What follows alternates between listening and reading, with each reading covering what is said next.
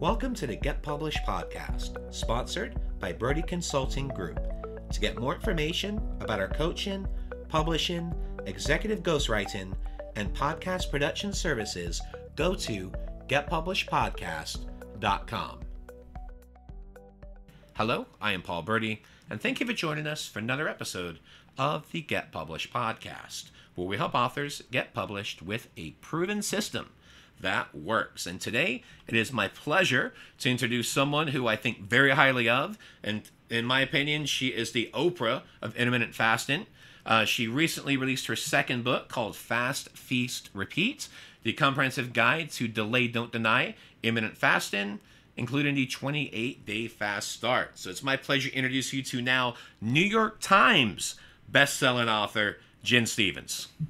Well, hi, I'm so glad to be here. And I actually just counted up on my hand, and this is actually my fifth book because I had four that were self published before ah. this. So, yeah, this is my first traditionally published book. But yes, I had um, Delay Don't Deny, and then Feast Without Fear. And then I had two that were like workbooks, journal type books, and then um, then Fast Feast Repeat.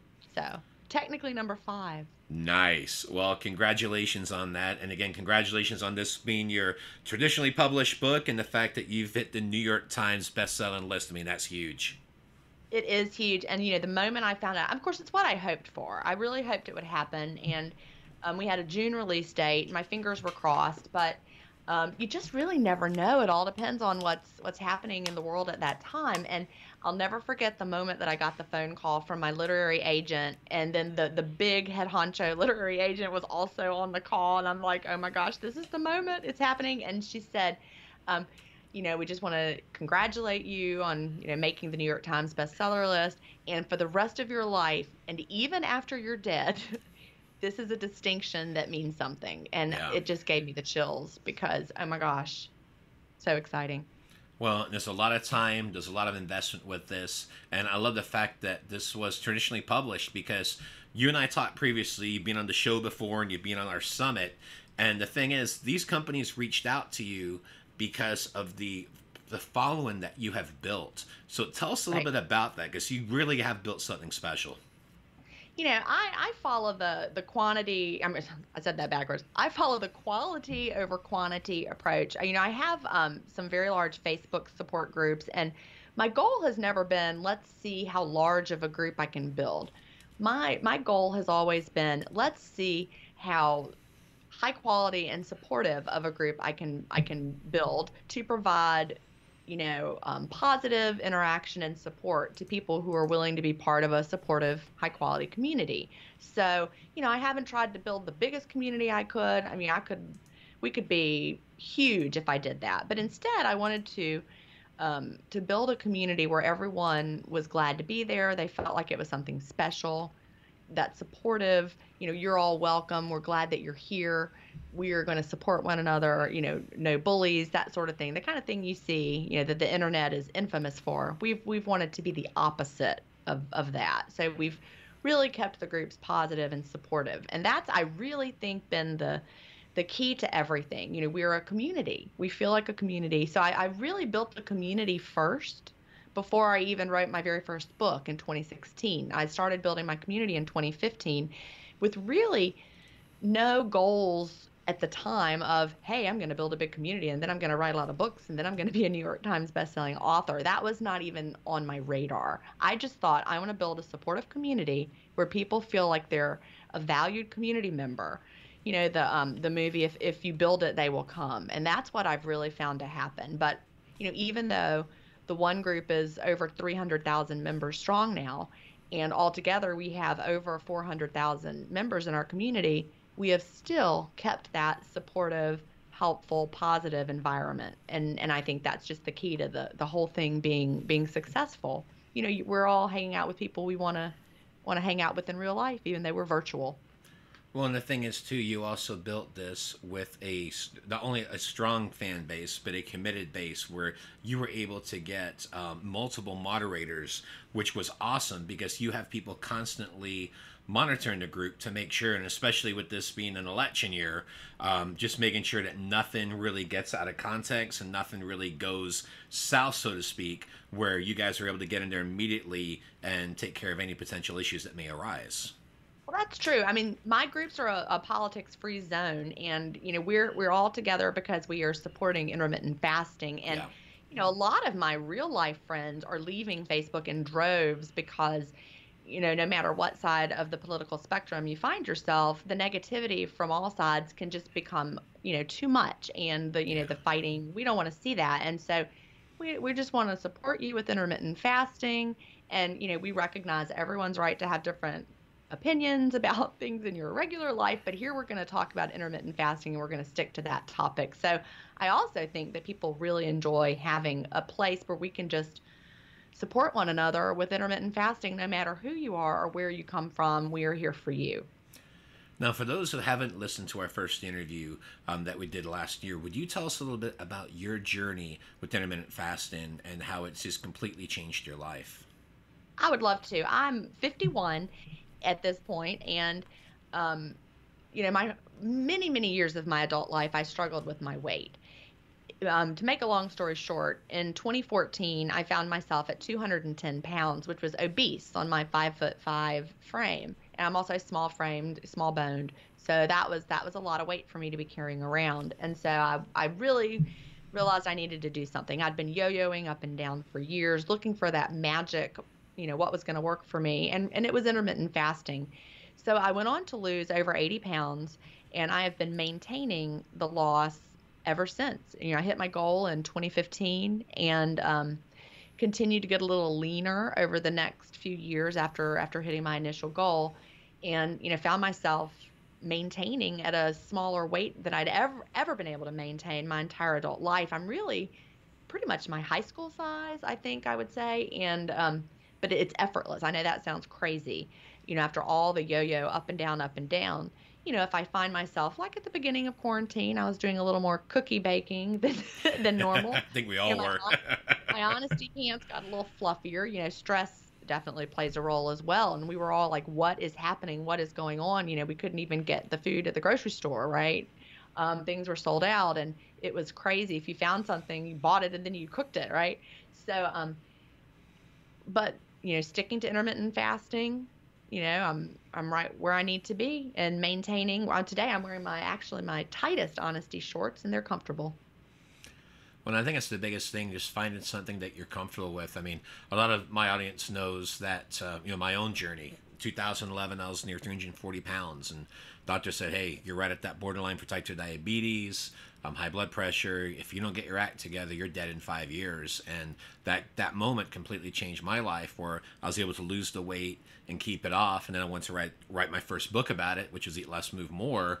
And here we are, 15 books later, and it's just it's just amazing how one decision can completely change your life. It's true. One decision really can. And you know, that day I clicked create group on Facebook and started my very first Facebook group. We just passed the five year anniversary of, of that um, group creation date, and we celebrated it in the group.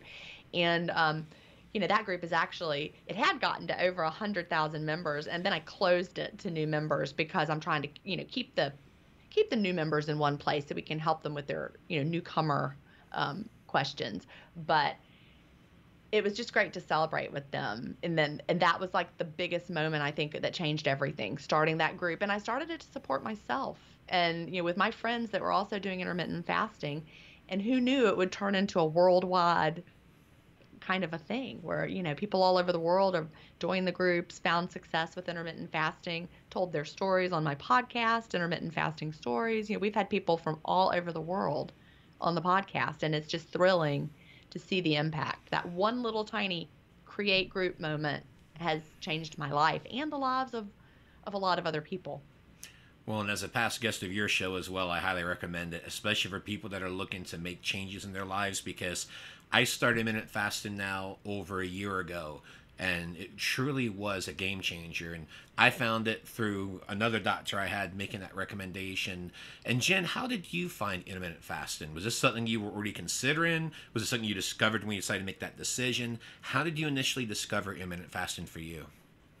Well, you know, I for years when I was trapped in that yo-yo weight mindset and cycle, I read every diet book I could find or uh, at least I would go to the, the bookstore and browse the diet section and pick up different books and say, oh, I might could try this, or oh, uh, that one I'm definitely not going to try. But I I knew what all the diets were, and so you know, someone that was so in the diet community as I was, I um I stumbled across intermittent fasting probably in 2009 and you know there were a few protocols at the time. There was eat stop eat with brad pilon there was the fast five diet and lifestyle which was a, a five hour eating window um, dr bert Herring.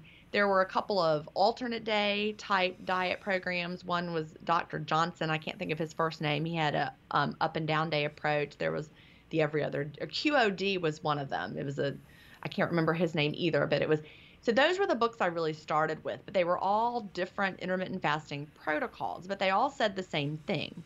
And they were eat the foods you love, just not all the time. You know, whether mm-hmm. it was having with with eat stop eat, you would have a few 24-hour fasts a week and and just eat normally the rest of the time. Or whether you're doing your eating window, that was, you know, Dr. Herring's approach, have a 5-hour window and eat within that window or the every other day, diet one day, eat normally the next. Those really resonated with me and I just I didn't want to have a bunch of dietary restrictions or rules or eat this and don't eat that. Instead, figuring it out by time seemed like a much better way for me to still live the life I wanted and manage what I was eating within a, a period of time. But I couldn't make it a lifestyle. And you know, I know, understand now why. I understand the physiology of fasting so much better. Basically, I wouldn't give it enough time for my body to adjust and so I would try it for a few days and then I'd get sidetracked. And so basically, I was always trapped in the adjustment period. And with intermittent fasting, you really do have to give your body time to adjust. So if you keep starting and stopping, it's going to be a lot harder for you. Also, that was you know well before one of the other books that changed my life, Dr. Um, Dr. Jason Fung's The Obesity Code. It came out in 2016, and even though I'd already reached my goal by then, it really changed my life to read his book and understand the role of insulin in weight gain and weight loss. And something that I, I, was always doing, I was putting stevia and cinnamon and you know vanilla cream stevia it tasted delicious in my coffee and, and considering myself fasting.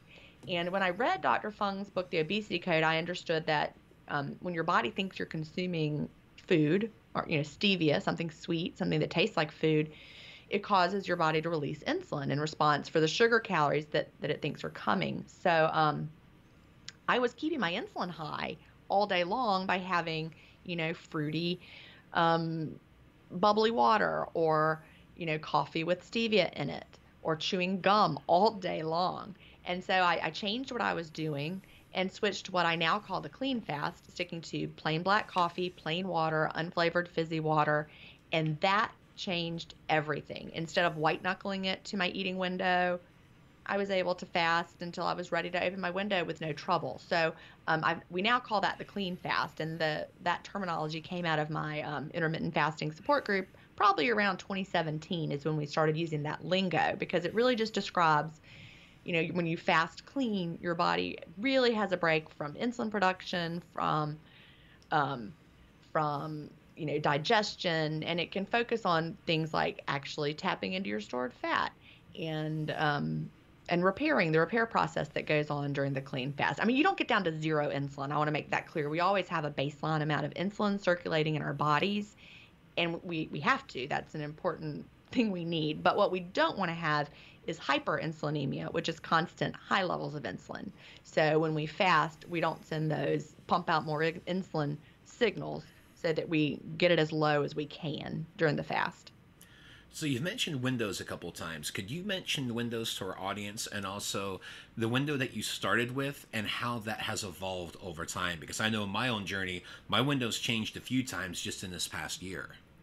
What's really funny is I started, like I said, with Dr. Bert Herring's Fast Five program, and that was really the only book that talked about eating windows. I mean, it was until the the eight hour diet came out. That the eight hour diet came out a few years later, but and a lot of people have probably heard of 16-8. That would be eight hour eating window, 16 hour fast. That one, by the way, did not work for me for weight loss. Not at all. I can eat a lot of food in eight hours, and 16 hours was not enough time for um for my body to tap into fat stores and lose and lose the weight.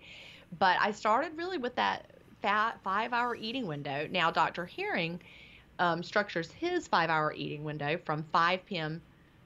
till 10 p.m. Well, I shifted mine a little earlier because by 10 p.m. most nights I'm already in the bed. So 4 p.m. to 9 p.m. was really a great eating window for me um, in early days. And when when I really adjusted to that, and it was in 2014 when I was like, all right, this is really what I'm going to do. In 2014, I was really I would basically wait till I got home from work and I was a teacher at the time. So really, I would open at about 4:30, and you know, some days it would be open the whole five hours, but not always. And that was a really good eating window for me.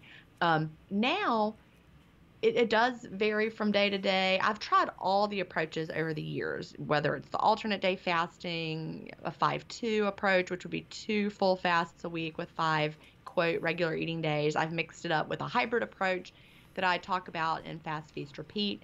And now I've, I've been doing the daily eating window approach nonstop since 2016.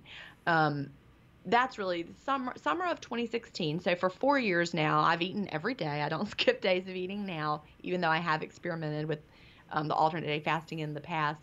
And my sweet spot is waiting until some point in the afternoon to open my window and then closing it at some point after dinner. Um, I loosely consider it a one meal a day approach because I don't eat lunch most days. I definitely don't eat breakfast. I don't eat lunch. And I will usually open with some kind of a hearty snack, you know, keeping in mind that I'm not trying to lose weight.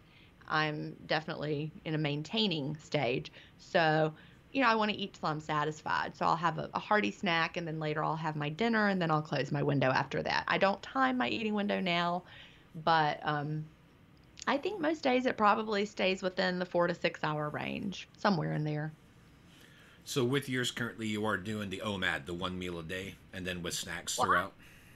Yeah, I, I, consider I you know the the phrase one meal a day is um, interesting to think about because I actually my first group that I started in 2015 is called the one meal a day intermittent fasting lifestyle, and that's the one that's closed. No one can join it now, but it was the only one meal a day group on Facebook and and it was structured around the idea of you have an eating window but you're really only eating one meal because one of my early confusions with the 5 hour eating window especially from the years that I struggled when I would try to do it is because I thought all right a 5 hour window I'm going to have it start at noon and end at 5 and then I'm going to cram two meals in there and you know I could eat a lot of food if I'm trying to eat two full meals in a 5 hour eating window and then I was reading Dr. Herring's first book um, the Fast Five book that he wrote. And one little sentence in there finally jumped out to me. He said, You're only eating one meal. So, you know, he was talking about, you know, focus on high nutrients. And I'm like, he intended his five hour window to be one actual meal, not trying to cram as much eating into five hours as you can. That might sound dumb, but that was an aha moment for me. I was like, oh, because prior to that, I was like, all right, five hours, start, finish, go, you know. But once I realized our goal is not just to eat for five straight hours, I was like, all right, our, my goal is to have one actual meal within this window. And so for me, that's dinner. I structured around the dinner hour. And so, you know, that doesn't mean one plate a day or 23 1, meaning a, a one hour eating window you know, there's some purists out there that have come along in the years since my one meal a day Facebook group started, and people have attempted to define one meal a day as 23 1 or one plate a day. And, you know, I, I prefer not to get caught up in semantics because, you know, I consider myself to be someone who eats one actual meal a day, dinner, not lunch, not breakfast. I, I consider it one meal a day, but it's not one meal a day and that's all you eat and you eat it in a short time period. So, does that make sense? It does, and I'm really glad that you clarified that because I did not want to have to explain that. Just because there's so many different pieces well, involved with it, and you have to find like, what works. People are nuts about terminology. And yes. like y'all quit. Who cares? Call it whatever you want. you know, And they're like, well, I don't understand what's the difference between 19.5 and one meal a day. And I'm like, look, I don't care. Your goal is to have an eating window that feels right to your body. Mhm. Look, I'm, you know, I'm five five. I'm sitting here in size zero shorts today. I could not eat enough bod- enough food for my body if I had a one hour eating window every day. That would not be enough food for me. I could not cram enough food into my little stomach in one hour to fuel my body. I need to have a longer eating window. Um, but I, I'm not eating two complete meals. And I like to think of it as like a meal at a, at a fine dining restaurant. You know, think of it as courses. You maybe you open with a salad and then later you have some soup and an appetizer and, and then your main course. So think of one meal a day as a multi-course meal. You're ordering from different sections of the menu. You're not having two entrees. You know, we all understand going to a, a restaurant. You don't order two entrees. You have the different courses. That's what I think of as a one meal a day approach. And if someone thinks that that's not one meal a day, I don't care. Call it whatever you want. you have my permission to call it whatever you want. Well, and I love that because I know one of the main themes that we've had in our conversations is the fact is it has to be what's best for you because Right. what works for you may not work for me. What works for me, it's not going to work for the next person. You just have to figure it out because I tried doing the one meal a day thing and just me, digestive wise and everything else, it didn't work. You know, I'm 6'3", 280 um, with a lot of beef. So it's one of those things where I know my body's constantly burning. So I want to make sure it's going to be the best fit to do Right. that. And the other thing I wanted to ask you, um, the role of exercise in your journey as well. Well, the role of exercise in my journey has been very minimal. Um, interestingly, I'm um, one of my big areas of interest in is is biodiversity and how our bodies are all different when it comes to you know what foods work for us and even when it comes to exercise. And I talk about this in Fast Feast Repeat. Genetically, some of us are more likely to need to exercise to lose weight than others. And when I had my DNA analyzed, um, I ran it through one of the main the main programs that everybody's heard of, and then I downloaded the raw data and have run it through some other platforms that then you know will analyze the um, the SNPs for you. And I was not surprised to get the result that my body is one that exercise doesn't tend to make a huge difference as to whether I lose a lot of weight or not. And that's what I found with my experience my entire life. You know, I would start an exercise regimen, you know, the whole eat less, move more, moving more. I did all the things.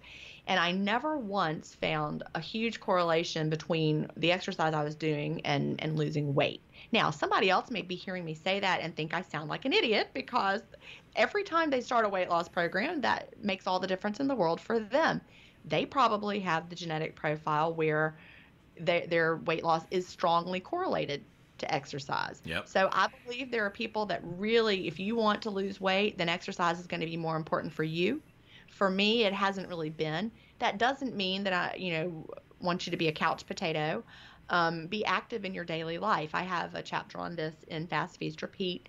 You know, I prefer to get my activity from, you know, like today, I'm I'm I'm doing some laundry and hauling around the laundry baskets. I stripped the, the sheets off the bed and just tugging those sheets into position when I'm putting them back on the bed. You know, I'm, I'm working my muscles. And Yep. so I prefer to do things like vacuum the floor, mop the floor, you know, functional movements just throughout my day. Um, I'm also a fidgeter. And, you know, there's a lot of research on people who have a lot of, you know, fidgety movements tend to just, you know, burn a lot of energy just throughout their day. So, um, you know, that that works for me really, really well. I'm not going to go to the gym. I'm not going to, you know, run run out on the street. I might stroll around the neighborhood after dinner with my husband. I have a rebounder. I enjoy jumping on it, but I, I might jump on it for five minutes and that's it.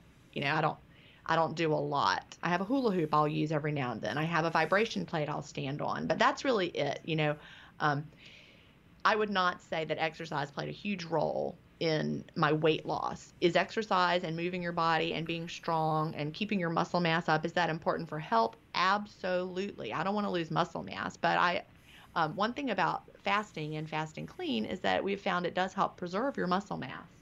You know, being in the, the clean fasted state tends to um, elevate your levels of human growth hormone, which is great for maintaining muscle mass or building muscle mass if that's your goal And I love you know, as a, oh, I was just going to say, as a 51 year old woman, maintaining muscle mass is definitely important. No, I was just going to say, I love that you've mentioned that so specifically because the thing is, everyone's different. And I think that's the biggest thing people need to understand from any type of lifestyle change, any type of change in diet is you have got to figure out what works best for you because what works, what people say on TV or in the media and articles, whatever, those things may not work for you. You've got to figure out right. what's going to be the best fit for you. And yeah, as my example, you know, for me, I do need a little exercise to go with it. And what, one thing that you and I talked about before we recorded this was just like yourself. I got a little fluffy during that first month of COVID, and I needed something that one kind of took away the stress a little bit, but two, I was able to create an exercise routine because I was in a bubble at the house, and then I started getting on my former coat rack, my exercise bike, and last right. week we celebrated 150 days in a row on that. But it's really more for mental health than for physical. But a nice side effect is is that part of it's kicking in as well because right. I did lose that. Uh, you know, people talk about the the college 15. That was probably like the COVID 10, but it was nice right. to kind of take off that COVID 10 by having that routine in addition to intermittent fasting and just realizing what works best for you because it's it's not necessarily a one size fits all thing. You have to figure out what's going to be the best for you and then implement it that way. And that's what I've seen a lot from your teachings with your book, with your advice that you give. Exactly. And you know, if you're someone who knows that your body needs to to have a certain type of exercise regimen for you to lose weight, then don't say, well, Gin didn't, so I shouldn't have to. I mean, this is what works for me mm-hmm. and my body, and I know my body. And so, you know, if you know that exercise is an important, you know, way for you to lose weight, then then do what you know works for you. That's just, you know, it's very important. We are all so very different. Exactly. I think that's the biggest thing that people just need to realize is everyone's different with that. So shifting back to the book, I did want to ask you um, about any marketing strategies that you used in this launch. Um, that that first of all that worked well, but secondly was a little different from your previous book launches. Well, no. I, know, the the first book that I wrote in 2016. I mean, at the time I felt like I had these really big groups, right? And they were like. Um, combined 5,000 members. Are you still there? I just lost. Oh no, you're good. No, I was just okay. I was just listening because the thing is, you've evolved to that point now to being this New York Times best-selling author. I mean, that's an amazing jump. Yeah, I thought I lost you. Sorry, but yeah, you're good. It felt like I, I had five five thousand members, and it felt like really big groups. And so, like the first day, I think I sold a hundred and something books. I can't remember, but I was like, oh my gosh, look, I sold a hundred. You know. hundred and something books. And so, um, you know, I just talked about it in my groups. And what I found is I, I don't like to feel overly like I'm pushing something or yeah. overly salesy. And so, you know, I just shared like I would share with a group of friends. Um, you know, I, I want people to want to buy my book because they find value in it and they're going to love it. That that's my goal. And so, you know, I try to balance my excitement with the book and here's my book and i hope that you choose to read it. And and that's really the message that that i wanted to get out there. And um you know the moderators were really excited and i think that really helped. And you know all this it just happened you know organically really. But um, my publishing house i'm with st martin's press which is a divi- division of macmillan. So they were able to get advanced reader copies out to the moderators that work in my my Facebook support groups. And so that was a whole lot of fun and I think it drummed up excitement because you know the moderators were reading it early and then they were sharing in the groups about some of what they were reading. So that helped people be excited about it. But really the community was just fantastic. I'm so grateful. I want to get that out there. I'm grateful for every member of my Facebook community who supports each other so positively every day and you know gives me something to do every day and you know, to celebrate with them and you know as they support one another really and you know i want to thank them for also you know promoting the book and buying the book and telling their friends about it and that's the beauty of intermittent fasting is it's truly one of those grassroots movements that when you begin to live the lifestyle and you feel so wonderful and your health turns around and suddenly you lose, you know, what I like to call your diet brain and you're yes. just freely living your life and enjoying food, you feel good in your own skin. You want to tell people about it. And that's really how my journey started, telling people about this amazing thing and people looked at me like I was crazy for a while. and um you know, now that intermittent fasting is is I would like to say it's mainstream now, but oh yeah, as it's it's mainstream and becoming even more mainstream, you know, I want to make sure that people are successful with intermittent fasting because my goal is not for a lot of people to try it and then move on to something else. My goal is for people to try it, make it work for them, be successful, change their lives. That that's really that is that is my mission here. Is, is to help people change their lives and transform themselves permanently and not, you know, looking for the next best thing. This is the thing. This is the thing that that is there for you. And it's so flexible and it um it will change your life. So of course you were asking me how i marketed the book. And really as i said i'm grateful for my community. And i, I feel like the community is marketing it themselves because they're so excited with their own transformations. And you know you can't ask for anything more than that. Well and the thing is too um, i've been part of your group now for about a year. It doesn't feel like a group. It feels like a movement. And the fact is i'm seeing every day in there these amazing transformations. So clearly it does work. I've been using it for a year. You've been using it for for, for years. I mean, the thing is, it works as long as you find what's best for you and you put the time into it. But I love the fact that your group, first of all, it's so well monitored. But the other thing is that it's so positive, and I just love. Right. I mean, it's like every day you are celebrating someone's transformation in there, and that's just huge. Yeah, it really does feel like a movement, and that's what's so thrilling. And you know. I invite people to join our movement, but only if you can come and stay. stay as a positive contributor. We don't have any of the, you know, the negativity. Um, that doesn't mean you can't come with your struggles. You know, I want to point that out. We will be there for you. We want to hear your struggles as well. If someone is struggling with intermittent fasting, we don't want to hide that. We want to put it right out there and let's troubleshoot together because it's not, you know, a, a painless process for everyone. Sometimes especially if you've been overweight, obese for a long time, you have a lot of metabolic healing to do. Yeah. We will troubleshoot with you. We we're not just, you know, always fake sunshine.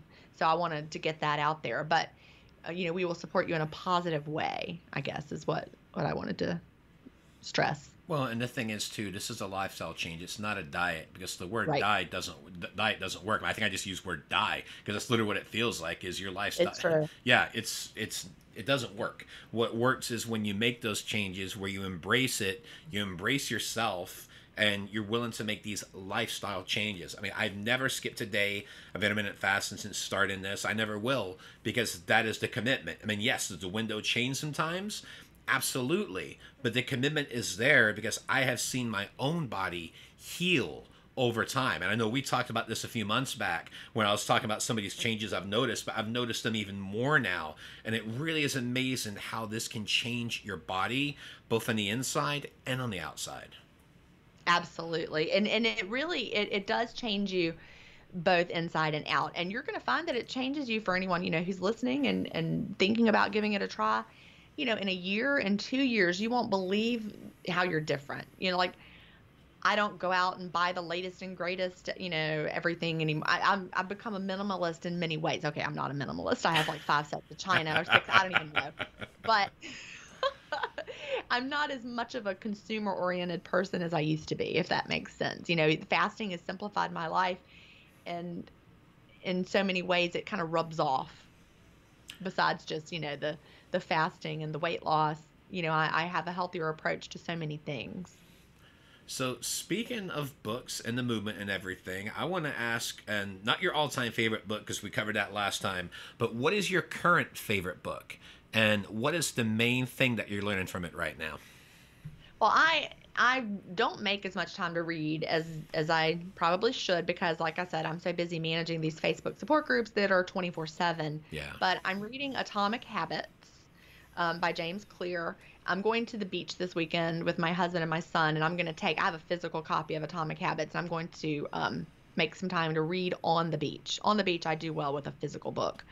So um, I'm going to read that. What I love about Atomic Habits is it really, you know, I started reading and I read the beginning the last time I was at the beach, and it just resonated with intermittent fasting so very much. You know, you he talks about, you know, you design a lifestyle that supports your goals. And that really is what we want with intermittent fasting. You design a lifestyle that supports your health goals. And that's what intermittent fasting will do for you. So, Atomic Habits, and this is fun. He and I, he's probably still on the New York Times bestseller list. I was on there for two weeks, and he was right next to me one week. So that was really fun. I'm like, I was four and he was three or something. So that was so much fun. I'm like, I'm reading this book and it's right beside mine on the New York Times bestseller list. That's pretty cool. It is. well, Gin. I don't know if he knows who I am, but he might have seen my book cover next to his. So. Hey, there you go. You're in the neighborhood, right? That's right. Well, Gin, for our final question, what is your current favorite quote and why? Oh, my current favorite quote. Oh, mm-hmm. gosh. I don't think I have a favorite quote. Hold on. Let's see. Um, can I look it up for a second?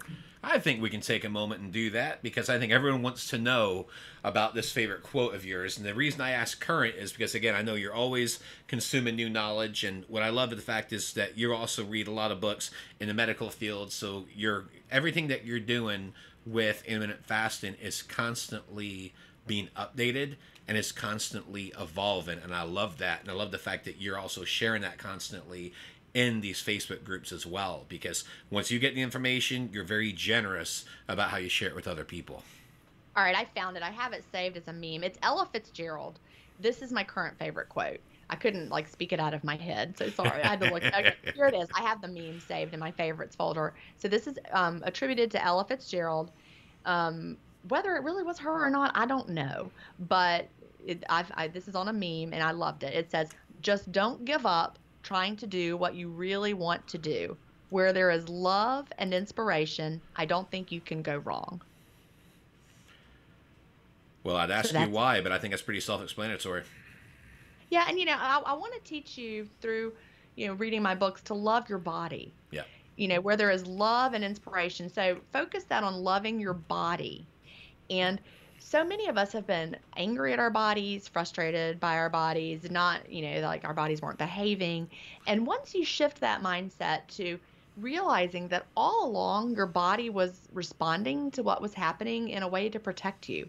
Even, you know, things like type 2 diabetes, you know, you're like, why has my body done this? Well, it's responding and it's it's trying to protect you and the the confusing things that you've done, not really understanding, you know, what was happening. We were told to eat six small meals a day. We were told to do that. We were told that diet sodas were great for us because they had zero calories and that was just fine. We did all the things we thought that were good for us, and our poor bodies have just responded the best way they could to all these confusing inputs that were not natural and not the way we're meant to live. So take a step back, love your body, and work together as a team instead of feeling like you're fighting it. Gin, I want to thank you for being a guest on the show. What is the best way for people to find you online? If they go to ginstephens.com, Gin is G I N, Stephens with a PH, you can find links to my podcasts, links to um, my largest Facebook support group, and um, really just send me a message if you need to. I do not answer emails with fasting questions though, so you can definitely join join the group and ask fasting questions there. We'll definitely support you there. But um, also links to all of my books at, at my website as well. Would you please tell us one more time the name of your Facebook group? Um, Delay, Don't Deny Intermittent Fasting Support. And in that group, it's really, really large. So we had to change the way the group is managed. So members do not make new posts, but we have daily threads where you can ask a moderator or find find you know targeted support to what you need. We were having you know thousands of like over a thousand posts a day, and it was impossible to keep up with and give the kind of support we wanted. But if you are a more advanced intermittent faster, meaning if you've read Fast Feast Repeat, anyone who has read Fast Feast Repeat is eligible to join the Delay Don't Deny Advanced Book Support Group. So look for that one. Um, you don't have to be an advanced faster, you just have to have the advanced knowledge from reading Fast Feast Repeat, and you have to answer some questions to verify that you have indeed read it.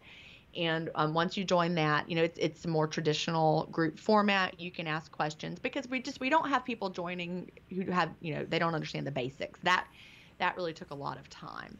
Um, so join the advanced group if you've read Fast Feast Repeat. Join the regular group, and um, we'll answer your fasting questions there, and you'll find all sorts of inspiration.